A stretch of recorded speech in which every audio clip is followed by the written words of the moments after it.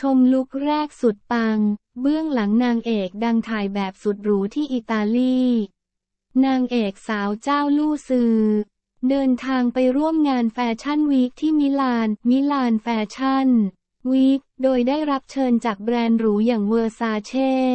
ซึ่งนอกจากจะได้รับเกียรติเป็นเซเลบไปร่วมชมแฟชั่นแล้ว เจ้าลู่ซือ ยังได้ถ่ายแบบให้กับเวอร์ซาเช่ด้วย ซึ่งมีการเปิดเผยภาพเบื้องหลังสวยๆ เลิศๆในชุดเดรสสีดำพร้อม กับบอดี้การ์ดคู่ใจที่น้องพาไปอิตาลีด้วย จะสวยจะปัง แค่ไหนไปชมกันเลยยะ